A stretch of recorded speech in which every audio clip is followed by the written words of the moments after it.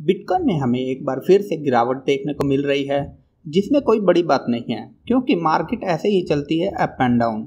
Overall bitcoin का chart अभी भी अप ट्रेंड में है, इसलिए ज़्यादा टेंशन मत लीजिए। बिटकॉइन के साथ ही ओल्ड कॉइन में भी हमें अच्छी खासी सेलिंग देखने को मिल रही है, बट टीआरबी में अभी भी बुलिश मोमेंटम बना हुआ है, और L D O and OP में एक अच्छे बुलिश रन के बाद सेलिंग स्टार्ट हो गई है।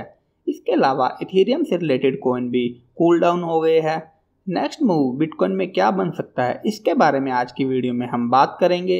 एंड सेकंड पार्ट में हम बात करेंगे दो ऐसे कॉइन्स की, जिनमें हमें अच्छा खासा बुलिश मोमेंटम देखने को मिल सकता है आने वाले दिनों में।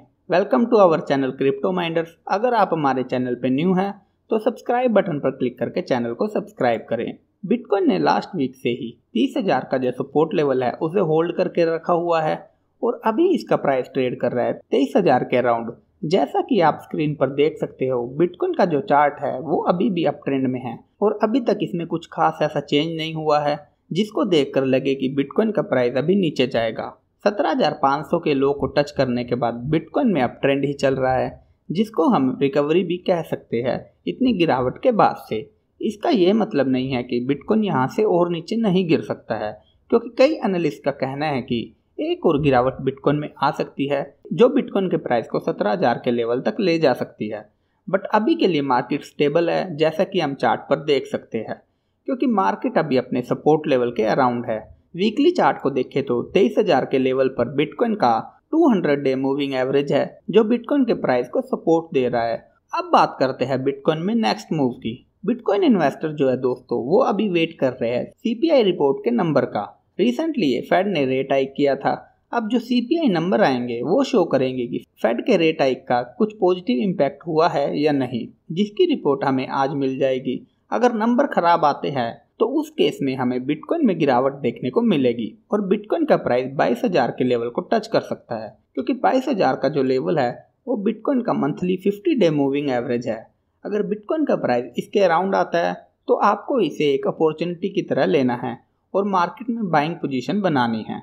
बट सी रिपोर्ट के नंबर पॉजिटिव आते हैं तो बिटकॉइन का प्राइस पच्चीस हज़ार के लेवल को टच कर सकता है। क्योंकि पच्चीस हज़ार एक साइकोलॉजिकल रेजिस्टेंस नंबर है, जहाँ पर कई लोगों ने प्रॉफिट टेकिंग टारगेट सेट किया होगा। इसके अलावा इथीरियम से रिलेटेड सभी कॉइन्स पर आपको नज़र रखनी है क्योंकि इथीरियम मर्ज अभी प्रोसेस में है, जो सितंबर में कंप्लीट होगा। इसलिए आपको इथीरियम ईटीसी ईएनएस और मैटिक पर नज़र बनाए रखे। ये आपको अच्छा प्रॉफिट बनाकर दे सकते हैं। इसके अलावा दो और ओल्ड कॉइन हैं, जिनमें अच्छा बुल रन हमें देखने को मिल सकता है, जिसके बारे में अभी हम बात करेंगे। इससे पहले अगर आपको मेरा ये वीडियो अच्छा लग रहा है तो वीडियो को लाइक और शेयर कर दीजिए। फ़र्स्ट कॉइन है दोस्तों फैंटम FTM फैंटम के चार्ट को आप स्क्रीन पर देख सकते हो। इसके प्राइस में एक अच्छा अप ट्रेंड देखा जा सकता है।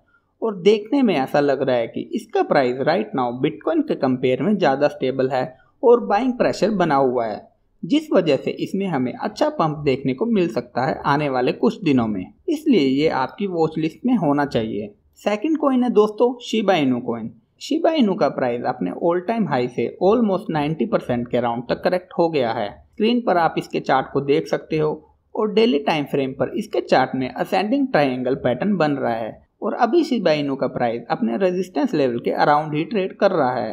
इसके साथ में कई सारे डेवलपमेंट शिबा प्रोजेक्ट में हमें देखने को मिल रहे हैं और कई एनालिस्ट तो ये भी कह रहे हैं कि शिबा इनू अब मीम कोइन की कैटेगरी में नहीं आता है, क्योंकि इसमें बहुत ज़्यादा इंप्रूवमेंट हो चुका है अपने लॉन्च के बाद से, जिस वजह से शिबा इनू के प्राइस में भी हमें अच्छा पंप देखने को मिल सकता है आने वाले कुछ दिनों में। फैंटम और शिबा इनू कोइन दोनों आपकी वॉच लिस्ट में ज़रूर ऐड होने चाहिए।